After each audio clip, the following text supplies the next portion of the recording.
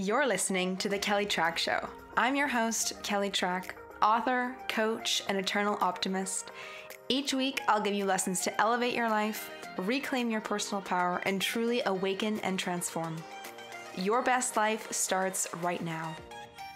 Hey, my friends, welcome back. Thank you, as always, for tuning in and for listening. I always appreciate you hanging out with me for the hour, and thank you so much for downloading the show, especially if you're brand new. Welcome. And if you've been here for a long time, howdy. I don't know why I said howdy, but it felt really fitting, even though I don't think I've ever said howdy once on the podcast. Welcome back, my friends. So, support for today's episode comes from Teachable. Teachable is this online course creation platform. It's where I host my top selling online self study course, Your Best Life, which is all about mastering your mindset. And it's where I'm going to be hosting the Inner Circle, which is my mastermind group. It's brand new. So if you're hearing about it for the first time, yes, it's brand spanking new, and you can put your name on the waitlist if you want a discount and get notified when we open the doors for enrollment. Now, I love Teachable because it's so easy and it's so intuitive and simple to use as both the person who's making my own school and my own curriculum, and for my students who enroll in my class. With Teachable, it's so simple. They just get the link, they enroll in my self study course at any time they need, and I love it because it can host so much data. Your Best Life has something absurd. It's got it's like 308 gigabytes of data. That's like a small iPod when they first made the iPod, which is crazy to think of how much high res content is in that thing. And Teachable is just so easy and so intuitive. So, if you're looking to make an online course and you're looking to generate some passive income for yourself, I would so recommend Teachable. And because you are a listener of the show, when you sign up through the link in the show notes, you get access to their three free classes on how to build your first course and most importantly, you get access to eight free weeks of live training from them. So that's got $1,000 in value that you get for free because you're rolling with me. Now, today on the pod, I'm super excited to have Jenna Dailey on the show. So, if you are new to Jenna, Jenna is a photographer, storyteller, yoga teacher, and social media specialist by trade. Somewhere along her path, creative expression became an intrinsic part of her identity and now she constantly seeks out opportunities to put her creativity to work. Jenna's core values, which she puts into practice daily, are creativity, connection, choice, passion, and nature. When she's not working, she's pursuing her passions of traveling the world, hiking, writing, and seeking out opportunities to experience, learn, and grow and she lives to spend time with family and friends, read real books, not digital ones, and yes, run the occasional Netflix marathon every now and then. So, my friends, this episode is so fun, so juicy, and just so grounded in authentic truth, which is so true to the Jenna Dailey style. So, my friends, we're gonna just jump right in.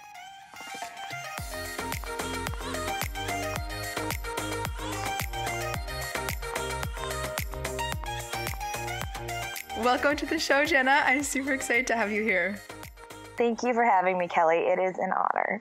uh, thank you. Okay, so I have some Jenna Dailey themed rapid fire Q&A for you before oh, we get boy. started. okay, I didn't see that one coming. okay. Mala beads or silver beads? Mala beads. Matcha or coffee? Matcha. Wearing just a sports bra to yoga or a sports bra and top?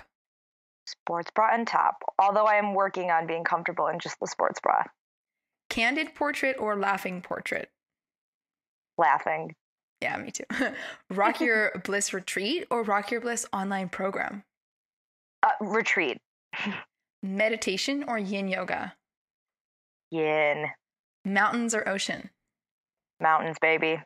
Teaching a class or taking a class? Taking. being in front of the camera or being behind the camera? Oh, way behind. you look great in front of the camera too. Well, thank you. Home practice or studio practice? Studio practice. Favorite crystal right now? Rose quartz. Mm, yeah, always pretty. Favorite book right now? Oh, I am reading Come As You Are. Oh. Um, I'm Oh. going to butcher it. Yeah, by Emily Nag- Nagoski. mm-hmm. Um, only like halfway through. So good. Highly recommend if you haven't already. Oh my God. Yes. I love that book. She is amazing. I am learning so much. oh my God. I know. I read that book and I was like, oh my God, I wish I had this like 10 years ago. right? You're like, I know nothing. I know. I wish that that was like honestly part of my high school curriculum um, in terms of like sex ed and being normal and not thinking that you're weird or the only person. Right. And I think male, female, everyone needs to read it. Yeah, I agree. And I also read that thing so quickly because she's like the funniest writer and she writes so well. And it's quite a big book, like when you look at it.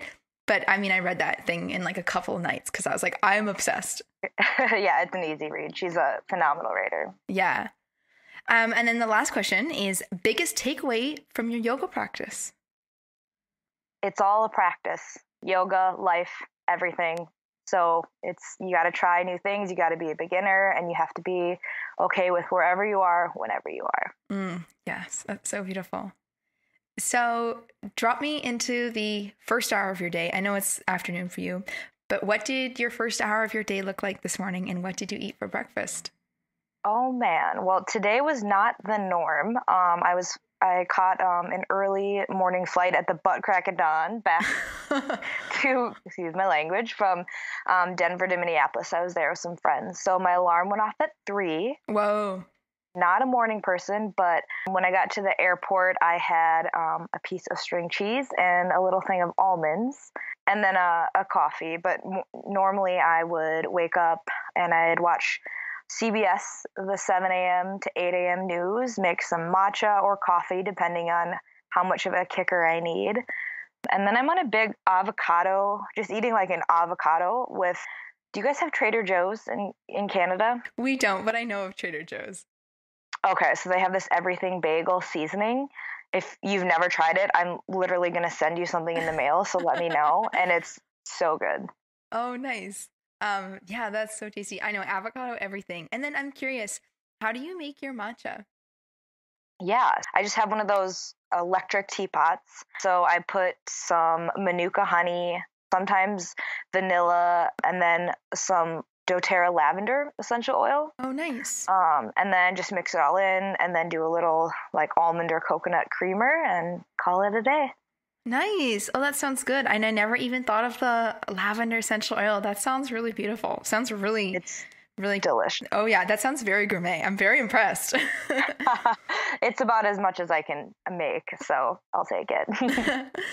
um, and then also before we chat further in the conversation, I would love for you to share your core values with us and how you describe them in your own language because I know that you're also a big fan of the bliss work and that's been such a, like a pivotal thing for both of us so can you share more on that yeah absolutely i'd love to first off is creativity um, that's a huge one for me. So I always think feel the fear and do it anyways. Mm-hmm. Um, because whether it's putting like one of my photographs or a blog post or just anything that I've created, it's always scary, but it's really fun to share with other people. And so, yeah, anytime I can be using creativity, whether it's at work for fun, reading, writing, designing yoga classes, even crafting, I'm very content.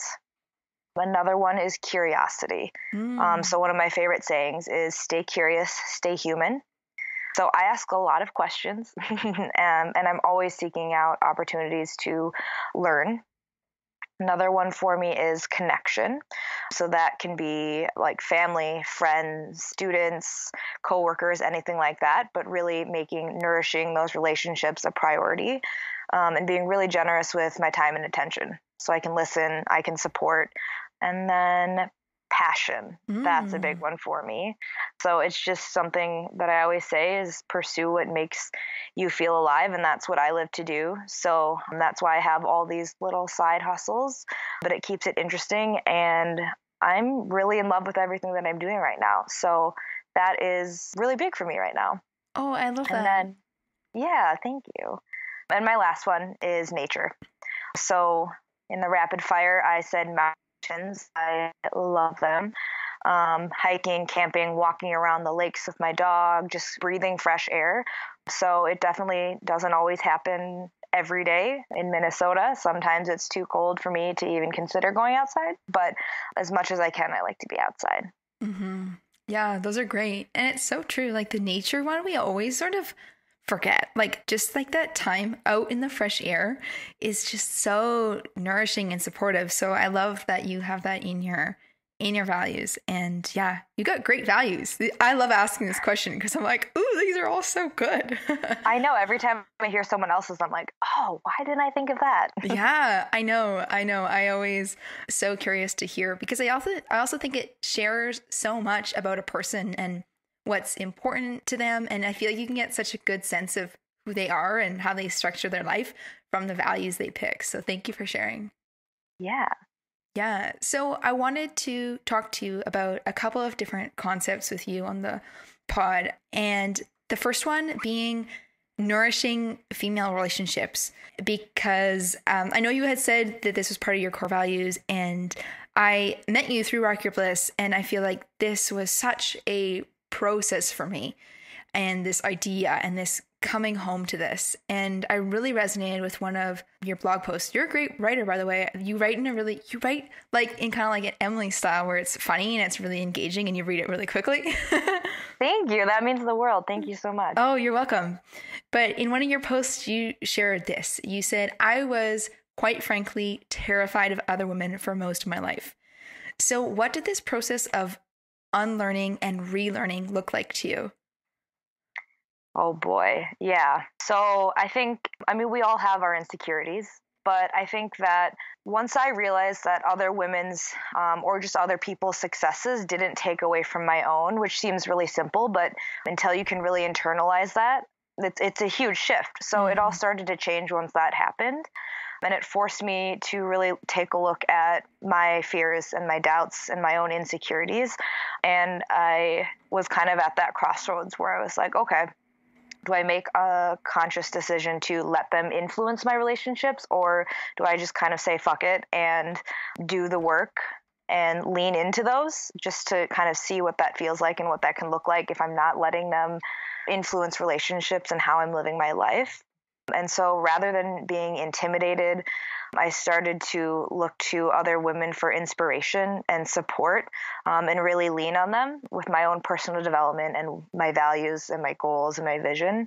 Um, and it's a process in that, you know, again, everything's just a practice. So I'm constantly learning about how to move around my insecurities and to really push for community and collaboration over competition or anything like that. And it's been really fun. Mm-hmm. Thank you for sharing that because I think this idea and this notion of community versus competition is a process for many of us. I mean, the like the first sentence you just shared right out of the gate that this idea that if one woman is doing something, it doesn't take something away from you. Like, OMG, I did not know that in high school. Like, I was like a competitive little human, and oh my goodness, it's so easy sometimes when you don't have the tools and you don't know any better and you have like weird social norms and stigmas about other girls and female relationships, it can really feel like you're competing for something when in fact you're not. So thank you for sharing that. I think that would resonate with a lot of listeners too. Yeah, absolutely. And you put it a great way. That's I I was in the same boat for many, many years. Yeah. So what was kind of like the turning point when you realized that there was sort of another way to do it, that there could be collaboration and that when people work together, it actually builds even more. Yeah. I'm not going to say that it was Instagram itself, but when Instagram started to become big, I just started to go down the rabbit hole of all of these people. So, you know, I found Jackie and Mary Beth, and, you know, every time I followed someone else, I followed five other people. I went through and just looked for people that looked really inspiring and that were essentially just up to really cool shit and creating shift in the world. And just seeing what other people were doing, even just through social media, people that I wouldn't have been connected to otherwise, that was actually a little bit of a catalyst for me to just look and just to be able to see like the the whole depth of how much there's going on out there and everyone's doing. Um, and rather than letting that feel constricting or like I felt behind, it was a big push for me to, again, look at those insecurities and then decide how I wanted to move forward. Mm, hmm And I like that you shared that Instagram was the catalyst because I think it can be really easy for the shoe to be on the other foot where it's like, oh my God, Instagram makes me feel like I am the last person, I am far behind, everybody else is doing it amazing. So I really appreciate the fact that you've you found that lens because it's so true. Like I love I also try to use Instagram like that because I mean Instagram is a slippery slope and, and like a late night evening Instagram scroll like 11 p.m. I'm going to start dipping into like self comparison and competition. But like I really really try to do what you were just sharing about having it as a really positive space and following the people that I love and like I feel uplifted when I go on versus in like a weird judgy state or like an uncomfortable thing. So I really like that you you shared that. Yeah, um, and don't get me wrong, I have my moments. You know, it's a double edged sword, and you have to be really mindful about what you consume and what your eyeballs are on. But overall, I look to it for inspiration. But I definitely go down the rabbit hole of being like, oh my gosh, what am I doing when all these people are doing those cool things? But it's just catching yourself in the moment and then making that conscious shift to look at it from a different perspective. Mm, I like that. Do you say anything to yourself when you make that little shift? Like, what does that look like for you? Because I think that's such a good tool and a gift to have. Yeah, again, I'll probably say this 25 more times during our little chat, but it's practice mm-hmm. um, and progress. But it's it's not perfect at all. But I think it's more about tapping into how I'm feeling, and then when I can recognize that I, quite frankly, feel like shit, or I'm feeling insecure, just even closing it, putting it down, going and reading or going outside or doing something else and then coming back to it, just feeling refreshed. So doing something to recharge and kind of nourish myself. And then, you know, the the self-talk, I'm working on that. It's not always very nice. It's usually like, okay, get your shit together, Jenna, but um, depends on the day. Mm-hmm. Yeah, I really like that you shared that because I think that little gauge of how you feel is so powerful. And sometimes it can kind of all mush together if you don't take that quick second to check in and be like, oh, how am I feeling? So thank you for sharing that with us because I think that's such a a good little nugget and one that sometimes we can miss because Instagram can always be like an endless, an endless scroll and like mm-hmm. a binge watch of all the Instagram stories at once. Oh my gosh. Yes. Yes. I try to really limit myself on Instagram stories and that's like I'm allowed to watch like only a couple people that really inspire me. But if I start looking at like strangers Instagram stories, I'm like, okay, okay, I've gone too far. it's yep. time to stop. It's so hard. And, you know, to give ourselves a little credit here, it's built to be addictive. Yes. So it's totally. not, you know. it's not our fault. It's like, it's definitely all all how it's done and it's with the intention of being addictive so it's just it's not us it's instagram yeah so I know that you and I are both big into the Rock Your Bliss program and the teachings, and I know you're also part of MB's yoga mentorship program. So how has learning from female teachers specifically really shifted your perception of women? Oh, that's a really good one. Yes, I am a Rock Your Bliss fangirl. I mean, I should honestly just get it tattooed on my forehead. oh my God, me too. You and me, we're going to get it. yeah, all right, we'll do it. Jackie MB, watch out. um, yeah, so I think, and it's so cool. I've got to follow them since really they created Rock Your Bliss, and I've done individual coaching with both of them. I've done seven weeks to bliss. I was in Ojai taking photos and experiencing the magic there for their retreat, and Mary Beth's yoga mentorship program. And I think the biggest thing for me would have to be just being able to see and experience um, how women can be so diverse and be so many things all at once. So mm. um, soft and strong, smart and silly, powerful but kind, adventurous and grounded, compassionate and fierce, and the list goes on. But like women are a fucking force to be reckoned with. And that is something that I have learned over and over again through all of these different experiences through Rock Your Bliss and then th- through women that I've met through Rock Your Bliss. Mm, I love that. That is so beautiful, Jenna. I so appreciate that. And I like that so much because it's so true. I feel like when you shared that, I was like, oh my God, yes, that women can be multifaceted and that mm. there are many different types of women and amazing female leaders and what that looks like versus how I grew up thinking that it should be. Like, I had a very specific and narrow definition of what it looked like to be a female leader in in like whatever, like high school and university and then post university. And it was so narrowly defined. And yeah, Rock Your Bliss just totally expanded my view of like what I would want out of a role model or a leader or a teacher or how it could be in like so beautiful and human. And it didn't have to look like suits. It didn't have to look like having your hair in like a slick ponytail or wearing heels or like being a certain way or managing things in a certain place. Like I was like, "Oh my god, this is like where has this been my whole life?" I and I so love that you share that. Yeah. So what does female friendship look like to you now? I would consider my female friends my mirrors. I look to them, I mean, a huge source of inspiration for me. A lot of unconditional love and support, definitely lots of admiration and mutual respect, accountability, um, listening, sharing, growing together, play, adventure, and exploring. Lots of big belly laughs. That's like my big thing. And then um, definitely mischief in the mix there.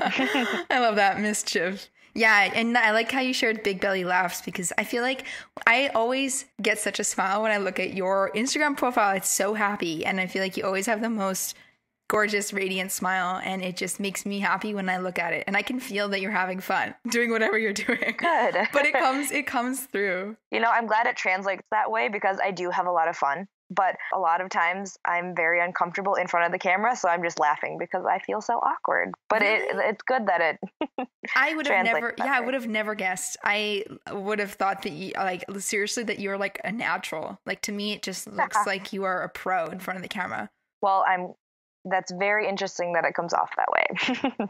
yeah, that's another thing. Like how we see ourselves through our social media channels versus how people perceive us. That can be so fascinating because so many times I have like podcast guests on, like like you, Jenna, and I like reflect something to them, and they're like, "Oh, I didn't know it came across like that," or "I didn't know that you saw me as like somebody that's good at surrendering," or "I didn't know that you saw that me as like somebody that's really like calm and um, supportive." And it's sometimes we can like forget little things about ourselves, or we don't see our own gifts, or we don't always like fully recognize our greatness. So I think it's always important to take take like a second to tell people like, you know, you're actually doing a really good job, or like, this is actually, you know, coming across like this, and you are like radiant and you're doing a really great job. And sometimes we just, we don't know unless other people tell us. Like, I had, oh my gosh, it was Jess Robson.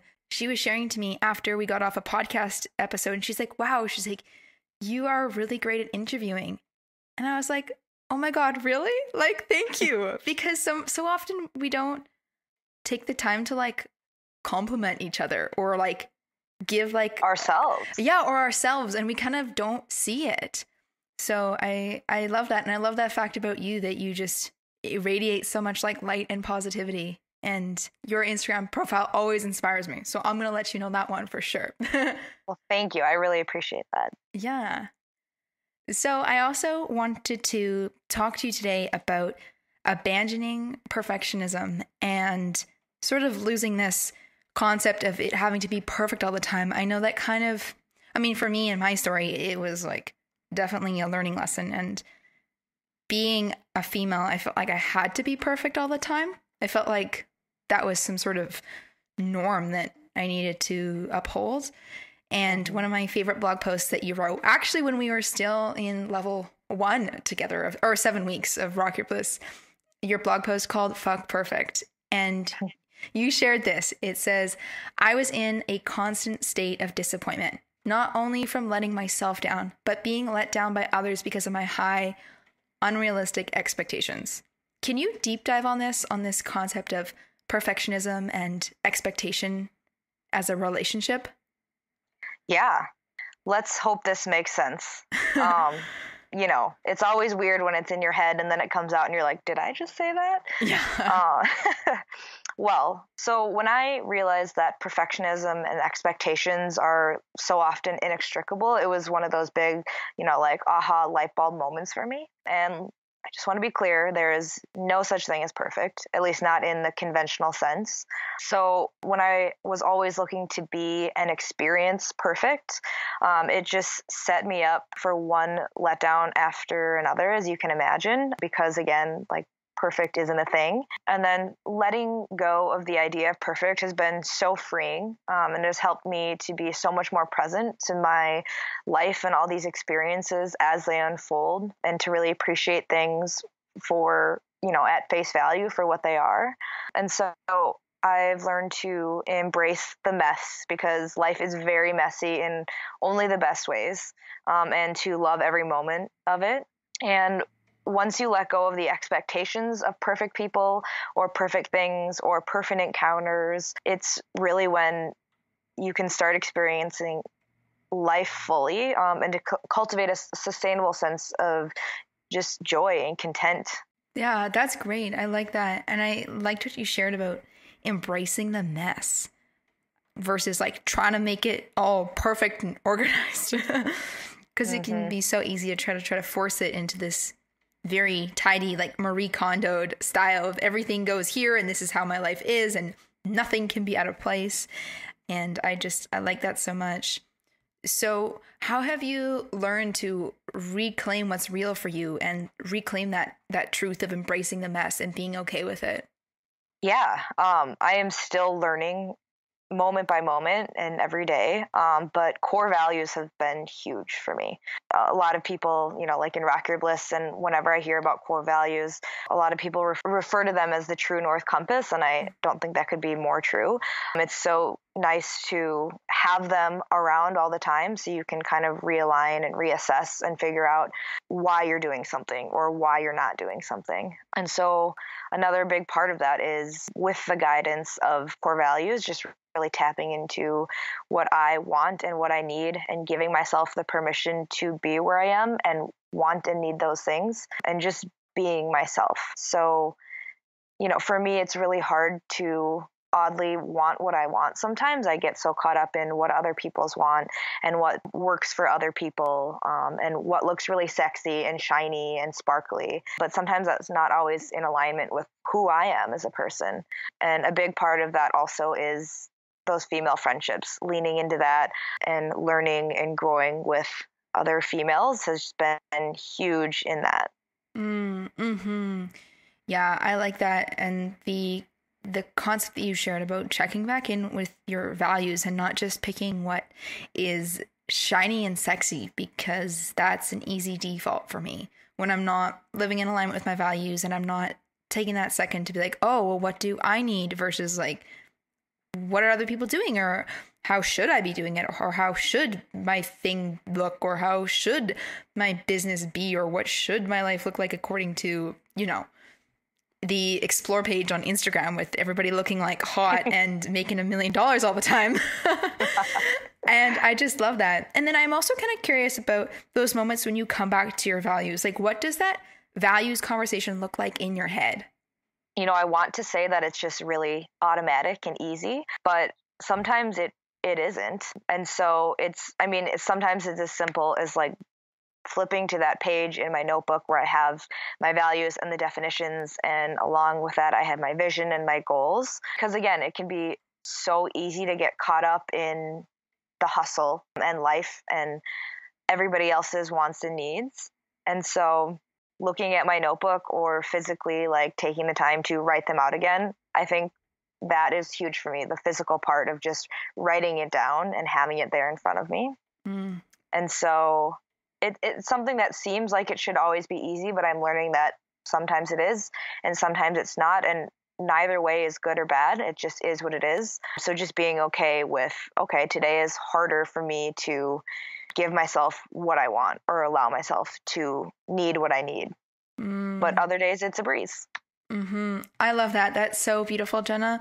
That idea that, well, for starters, to have a physical place for it to live because I'm so like you where I need to look back at stuff. Like I have to go pull out my spiral notebook with like the pretty leaves on the cover and be like, mm-hmm. okay, let's go back to basics. And I think it's so important when we share that it's not always easy or it's not always instant and like even though we have this awareness and we've done this work it's like still a practice like you shared i i think it's so i mean it's so common for me to just want to be like okay like why have i not mastered this yet or how come i'm not able to like shift out of this so quickly or you know be difficult on myself that i'm not as whatever developed or elevated as I want. And I sometimes my ego can really like shit all over me for that, for being not perfect all the time. And I think what you shared was so beautiful and it would resonate with so many listeners because it can feel like everybody else has has their shit together and like they know what they're doing and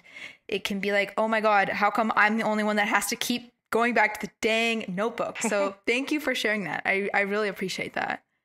Yeah. You also shared in that blog post that you said abandoning perfection is not like flipping a switch. At least for me it isn't. It's more of a practice, something that I must hold myself accountable for and work for every moment of the day. So, can you share more about what that daily practice looks like when it comes to being real? Sure. Definitely a lot of overlap from the previous question. So, core values and strong females, you can never have too many strong females in your life. That is something I've learned vision and goal work. You know, I, I, I, came into that work at Lululemon when I worked there back in the day for many years. And then um, I've had the pleasure of experiencing vision and goals through Jackie um, and Rock Your Bliss and so many different avenues. So that has been huge. Having accountability buddies and so many permission slips.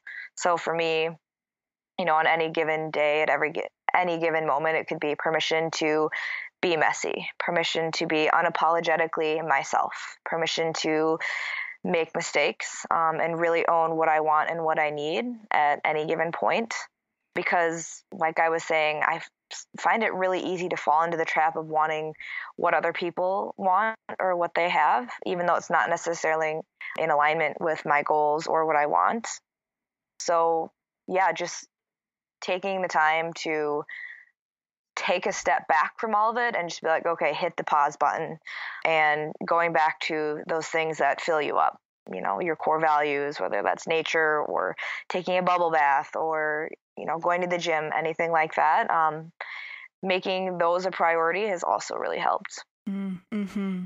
Those are great. Yeah. And I really liked your permission slips to embrace the mess and to be human and that it's okay for it to look a certain way on a certain day. So I really I really like that you shared that. You have great nuggets, FYI. You got you you are got all the truth bombs, my friend. oh boy, I'm all about the nuggets. so do you have like a, a reminder or a mantra that you use to be open wide and human in those moments, sort of when you'd prefer to contract or shy away or like appear as if everything is perfect? Yes. So, going back to what I said in my core values, a big one for me is feel the fear and do it anyways. Mm. So, vulnerability is fucking hard. Yeah. Courage is hard. Facing your fears is the hardest, but I've come to look at fear in a different way where it can be extremely telling and useful depending on your perspective and how you choose to move forward with that. You know, life is just too short not to tell you know someone that you adore them or to take the risk or go on the adventure. And so however terrifying something might feel and it might feel like a risk the reward is just going to be so much more extraordinary. And so coming back to that and just being like okay you know this is what i need to do and whatever happens is going to happen and i can deal with that. Mm-hmm. yes that concept of feeling the fear and doing it anyways. Like feeling it owning it, acknowledging that it's here, and then choosing to move forward anyways. I think that's such a perfect mantra. It's also like a really easy, tangible mantra to like pull out in the moment because sometimes I'm sitting there and I'm like, shit, I don't know what to say to myself right now. Or like it'll come out in kind of some sort of other sort of coachy jargon. But I love just feel the fear and do it anyways because we all have yeah, that short little... and sweet. Yeah, totally. That's perfect. Thank you. I loved what you had to share about female relationships and perfectionism and embracing the mess. And I also want to talk to you and do a total pivot in the conversation and chat with you about time. Good old time. You had um, another post where you were talking about having a bad relationship with time. And this has been really top of mind lately as I have been rewriting all of my stories. Um, and after I rewrote my money story, I was like, oh shit, I got to rewrite my time story because they sound very similar. so you wrote, I have been thinking a whole lot about time lately, and I've been actively working to change my relationship with it. Can you share more about that? Yeah, absolutely. So I I often find myself feeling like I don't have enough time or that time is slipping through my fingers. Um, and that usually leads to me just generally feeling behind in life um, and like I need to play catch up. So, again, kind of like with a comparison trap, you know, going on Instagram and seeing all those people doing these cool things. And you're like, well, you know, I'm working my job and I ate cereal for breakfast and then I'm going to go work out and then go to bed, you know. So, the idea of ha- not having enough time or moving too quickly, anything like that, that leads me to say yes to everything. And wear busy like a, a badge of honor like saying like i hey i'm a doer you know? And so when this happens i don't set or respect my boundaries with work. And so i'm always checking and responding to emails that seriously like it doesn't matter if it's 2 in the afternoon or like 11.30 when i'm going to bed if i see something come in i'll answer it because there's always something to do and I, I, I feel like i'm lacking in time so i try to do as much as i can all at once all the time when I feel like I'm multitasking, you know, in the moment, I can convince myself that I'm being efficient and that it's really good for me. But I don't, when I'm multitasking and when I'm trying to fit it all in all the time, I'm not listening intentionally and I don't show up for the people in my life in the way that I could be. And I know how to. And so it's the gnarliest feeling. I'm working on rewriting my beliefs and shifting my perspectives and reclaiming my relationship with time just by like a big thing for me is just monotasking. Mm. So like mm. right now talking to you you know, maybe six months or a year ago, I'd be like, the TV would be muted in the background. I'd have like my messages pulled up or like scrolling Instagram, but none of that. So I'm all here right now. But just like I've said a million times already, this episode or this chat is it's a day by day, minute by minute practice that is admittedly a shit ton of work, but I'm really committed to it. yeah. Oh my god, it totally is a shit ton of work. Like I yeah. it definitely definitely takes time and investment and effort and attention. And it's always a journey and a process this process of shifting anything in your life whether that's like changing jobs or changing your relationship with money. It takes time or changing your relationship with time. It all takes effort and attention. And it's not always this quick fix or five instant hacks to mastering your relationship with time or like a two minute read on uh, medium or anything. It, it's something that is a process and a journey and a continual unfolding. So i really like that you keep reiterating that because loving the process has been a process for me. Sidebar: I love your Canadian accent. It oh. is so cute. The process. I mean, I have got I've got the Minnesota accent. Oh God, that sounded. I've got the Minnesota. Oh gosh, now I can't say it without. I've got the Minnesota accent. Um, and so I think a lot of people group the the Canadian and the Minnesota accent together, but there's definitely a little difference, and I, I love hearing it. oh, thank you. That's so funny because when we first started chatting, I was like, oh my gosh, I can really hear the American accent, and it's so it's so funny because I always forget that I have an accent, and to me, it sounds just like everybody else. So when people are like, "Oh, you have a cute accent," I always I always feel really special. So thank you. it's always funny when when people compliment you on accents when you feel like it's totally normal. Like when I'm sure you felt the same when I'm like, "I love your American accent," or like I can hear it, or it's so cute, and you're like, "This thing, I I never think about this." But yeah, thank you. I appreciate that. And I really I really liked what you also had shared about this concept of time and feeling like we need to speed up and like we're behind and then other people have gotten farther in a shorter amount of time and like there's that sort of weird dynamic of where am I in my life in comparison to others in this like duration of time. And I thought that was such an interesting, fascinating piece that you brought up because one of my big self comparison little parts that just kind of can be really sticky if I don't control it is like the oh, look what those people have accomplished in that amount of time or why am I not there or like like Rupi Kaur is 25 um and I'm like no oh my way. god yeah she is she's Holy 25 crap yeah exactly so wow. I know and like I can be in in a good in my best self is like she's amazing. She's doing it at 25 and then if it's like midnight and I'm like oh my god, she's doing it at 25. you know what I mean? Like this concept of time and then self-comparison just sort of weaves in hand in hand and I like that you shared that because I think that's a spot that would be like, "Oh, me too," or like I so feel that way that a listener would be listening along and thinking like, "Oh my god, thank you. I'm not alone." yeah. So, how do you catch your breath and like embody the present moment when you feel like everything's really full or busy or speeding up? Yeah. So, I hit the pause button and what that currently looks like for me right now is really cranking up the self care. Because I always think of the idea of like, oh, I can sleep when I'm dead. And I think that applies to just so many of the pleasurable things in life. And, you know, it's like, okay, like, you know, I can have fun or take a nap or this like later. Like there, there'll be time for that, but I have to work now and I have to hustle. And I just think that is you know, if you take that to heart like I do, it's so backwards.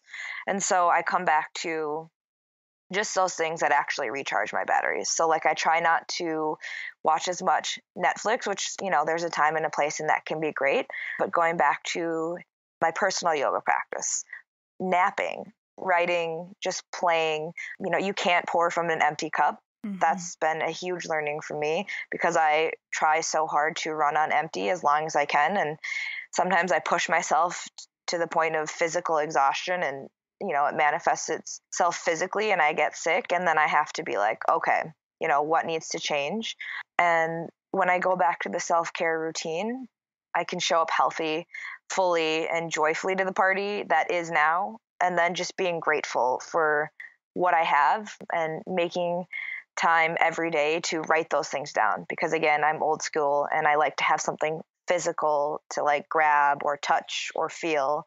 And that's been a huge game changer for me. Mm, hmm That, yeah, that concept of self care. And I also like to have stuff that's physical, especially in this digital world where everything is like another Google Drive. It's like, okay, pen to paper. like I can't keep track of it all. Yeah, totally. What other kind of self care activities do you do? I feel like self care can be such a lofty word, or like a, I dry brush three times a day. but like what or like some like tangible things that you can really go to in the moment when shit's kind of hitting the fan. Yeah, yoga. I mean that's, you know, maybe that's running or, you know, physical activity is a huge one for me. So that could be hiking, walking, yoga. Not sparkly or shiny or sexy by any means, but I've been going to a chiropractor um, mm. um, and I, you know, have been going in for my checkups, getting my teeth cleaned, those kinds of things kind of seem like a hassle. And, you know, again, they're just kind of mundane things, but I actually feel noticeably better when I am just constantly in the practice of doing those little things, even though, you know, you think of a bubble bath mm-hmm. or, you mm-hmm. know, like treat yourself, and that is all great. You know, I get a massage not as much as I should for being a yoga teacher and doing as much yoga as I do. Mm-hmm. Um, but yeah, it doesn't always feel like self care, but that doesn't mean it isn't. Mm, I love that because it's so true. Because when we're really out of it and we're paying attention to everybody else's needs, those bits totally go. Like the dentist appointments and like, I mean, nothing even remotely closely to massage, but like dentist, doctor, like that stuff can really all fall by the wayside when you're not tuning in and checking in. So I really love that you shared that because I think that's such a gorgeous thing. And even though it's so yeah. simple and not sexy, it like speaks volumes. And you really do feel so much better when you have the little stuff in place, like the doctor's appointments or the dentist appointments. And you're like, I took an hour to get my teeth cleaned, or like I took two hours and like I did this for myself. And it doesn't even matter if it's sexy or not, but like it's taking care of of yourself or even if it's just your teeth, but like kind of that message that you send to the universe that like I am important and I go in the calendar too. So thank you for sharing that. Mm-hmm. This concept of really slowing down and being good to myself has been a big lesson for me too. So, what do you do when you need to really slow your brain down? Is there anything specific that you do to like ground and take a deep breath? That is a good question. I would say monotasking, which mm. is so mm. novel to me because my whole life I'm like, oh yeah, my middle name's, you know, multitasking. I've always I've always been very prideful in the fact that I considered myself a multitasker, which at the end of the day no one is, but I digress. And so yeah, it's like okay, if I'm, you know, sitting down in the morning, I'm trying not to check my phone while I toggle between, you know, my email and all these other things and just watch the news. Or like just eat a meal and not have to have music on even. Or driving silently in the car. Or if i'm with someone like either putting my phone on airplane mode which i've been doing more or silencing it and having it out of sight out of mind um, the phone is is a big one for me i get very sucked into that i've been actively working on breaking up with my phone on a daily basis for at least a few hours, and it has been huge for me. And then sleep. That's a huge one for me. Mm, nice. Those are good ones. I, I so am with you on the monotasking and breaking up with the phone. My God, the phone. Jeez. The phone is totally another one of those double edged swords. And having that space and time away from it is so critical. Do you like mm-hmm. set times to have your phone like in another room or like do you stick it on airplane mode? Like, are there any little practical things that you do? Or do you set like an alarm to take some space from your phone or anything? It does actually come to a timer sometimes. So, yes, I can be like, okay, timer's on, two hours. Or this, you know, actually just physically leaving my phone when I can is really good for me because sometimes I physically feel like I'm missing like an arm when I you know leave my apartment without the phone or leave it in my car but I never miss it and I never regret it. So just reminding myself to do that more so it doesn't even have to be this thing where I think about it or where I feel like, you know, at first I'm being ripped ripped apart from something. mhm. Those are great. And I think I wanted to ask because I think so many people in this conversation that a lot of us are having is this like I want to get off my effing phone. I want to stop using it but the how equation can be a little bit difficult when we're all so addicted to it. And you're so right. It feels like another limb and it can yeah. feel like something's not there. So I think, yeah, that idea of just like leaving it at home and going for a walk, I think is a really good practical nugget because the phone addiction is a real one.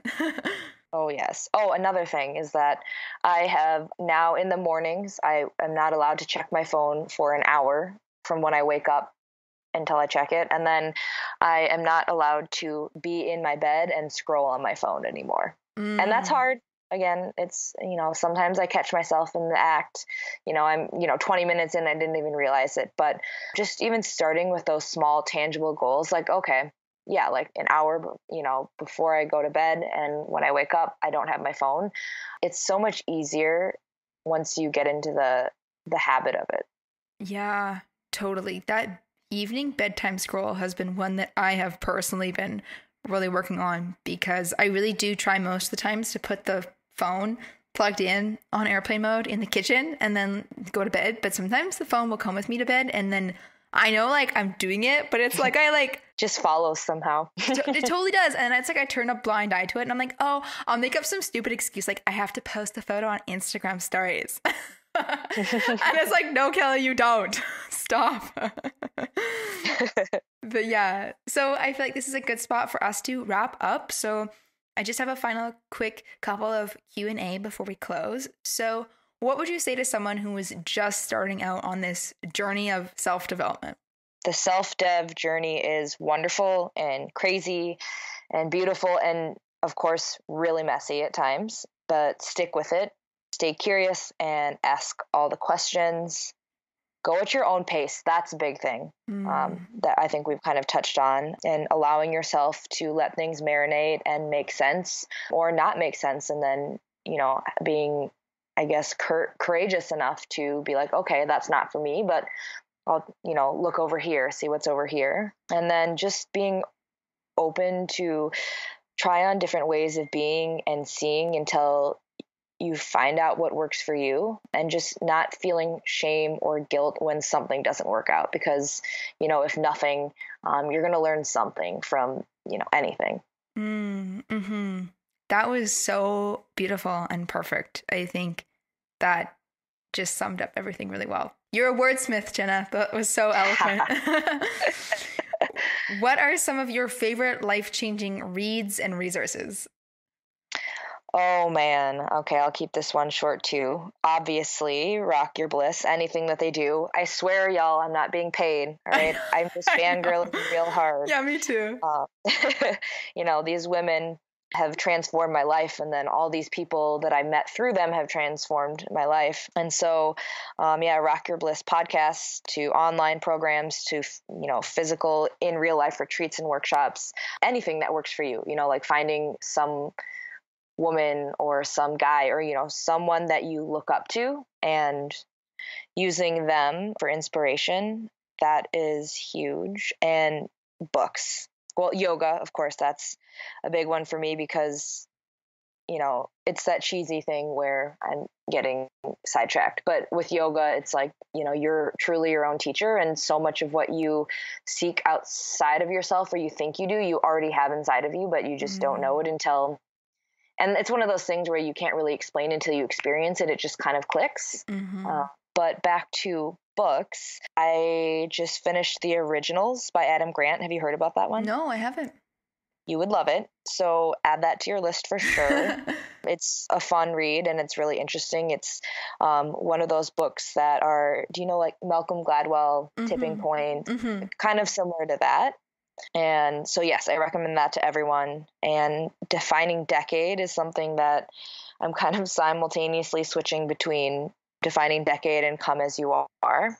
But yeah, podcasts, books, I mean, just for, you know, for me, it's what resonates with me. So, like, I love to read and I also love to hear people's voices. So, that makes sense to me. But going back to kind of the advice or to someone on the journey is just find what works for you and just keep pursuing that and finding as much of that as you can. Mm-hmm. Yeah. And that piece about finding what works for you versus like, even though it might work for so many other people, like I've been in programs where everybody's been loving it and I'm like, um, I don't like this. and then you feel like you were like weird or like the lone wolf. But I love that you shared that. Find what sticks for you and is in the way that you enjoy reading it because that makes the world of a difference.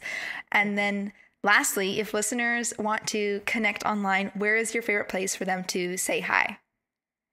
Oh, yes, clearly. I'm a big Instagram girl. um, otherwise, I love good old fashioned emails. Mm. Um, you know, I have a few email pen pals that I connect with, but if people, you know, feel so inclined and they want to kick it really old school with me, I always love handwritten letters. I am always looking for snail mail friends. So that is always an offline option as well. oh, I love that. That's so beautiful. Well, thank you so much, Jenna. This was such a treat and a pleasure to talk to you. And I loved all of your beautiful moments of just like, oh my God, she gets me. so thank you. Oh, girl. I'm just, you can't see me, obviously, but I'm blushing. But thank you. oh, well, thank you. All right, my friends, and there you have it. That is the show for you today. Thank you so much for tuning in and for listening. If you love this episode and Jenna's words totally hit home for you and you love the real talk, Make sure you take a screenshot of this and share it in your Instagram stories. Tag Jenna in it, tag me in it, and I'd love to hear what your biggest aha moment was, especially if you got a ton of massive value from this episode. So, thank you so much for tuning in and for listening. And I'm so excited to hear your takeaways on Instagram. And until next time, have a lovely day. And I am so excited to catch you back here soon. Thank you so much for tuning in and listening today. If you love this episode, please take a second to share it with somebody that you know needs to hear this message. And if you feel so called and so moved, please write an honest review of what you think about this podcast in iTunes and leave me some stars. That would truly help me out on my journey to helping millions and millions of people. And until next time, have a lovely day, and I'm so excited to see you back here soon.